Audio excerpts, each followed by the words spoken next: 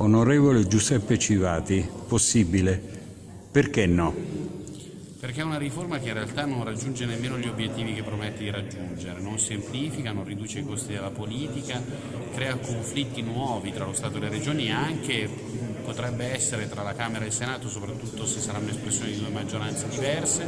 perché è stata fatta a colpi di maggioranze senza buon senso, potremmo dire, senza scegliere le cose migliori e più condivise, perché è stata fatta tutta insieme, infatti gli italiani si trovano a votarla come se fosse un pacchetto chiuso, in realtà cose diverse al suo interno che potevano anche essere valutate e approvate al Parlamento in modo separato perché è stata votata da un Parlamento che ha un premio di maggioranza dichiarato incostituzionale che avrebbe invitato tutti ad una maggiore cautela. Il mio invito è a fermare